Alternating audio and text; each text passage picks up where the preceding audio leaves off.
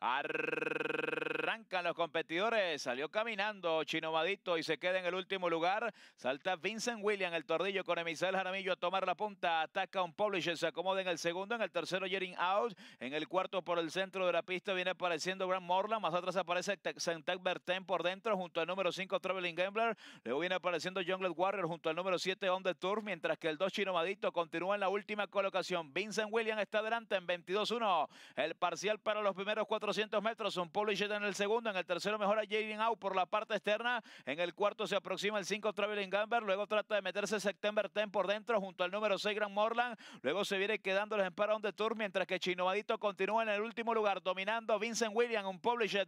Trata de lanzarse por la parte interna junto al Empire Jering Out. Mientras que September 10 se viene colando desde el cuarto cuando van a ingresar ya a la recta final de Ghostring Park. Vincent William está en punta, insiste por dentro un Publisher contra el puntero y por fuera Jering Out contra el puntero se defiende. Vincent William en la punta, un Publisher por la parte interna está desplazando y ataca ahora Jering Out por la parte central de la cancha. Un Publisher por dentro, Jering Out por fuera, inmenso el 9, aquí está la raya por dentro.